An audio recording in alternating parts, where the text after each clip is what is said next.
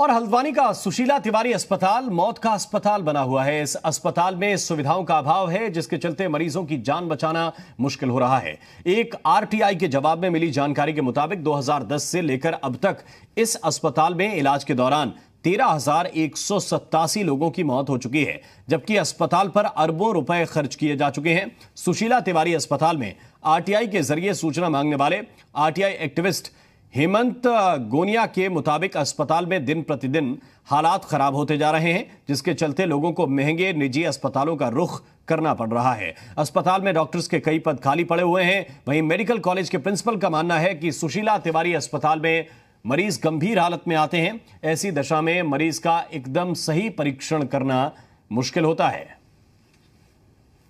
मैंने इनसे चार बिंदुओं पर सूचना मांगी थी। मैंने इनसे पूछा था कि आपके यहाँ राजीव बनने से लेकर कितनी मौतें हुई इलाज के दौरान? तो इसमें उन्होंने तेरह हज़ार एक सौ तिरासी मौतें दिखाई है। उसके बाद मैंने इनसे पूछा, कितने हाथ और पैर टूटे के आपने प्राफिट चढ़ाए? तो मैं साठ हज़ार प्राफिट दिखाए। तो मैंने इनसे ये पूछा था, राज्य बने से लेकर अब तक आपको कितना बजट मिला? तो पाँच करोड़ तेरह करोड़ रुपए इनको मिला। उसके बावजूद जो है, अस्पताल की व्यवस्थाएँ जो है करवा गई है और जो है मरीज़ यहाँ आने को तैयार नहीं है। हम तो अपनी पूरी मेहनत और उससे जो है हमारे जो डॉक्टर्स हैं ये अपना पूरा काम कर रहे हैं।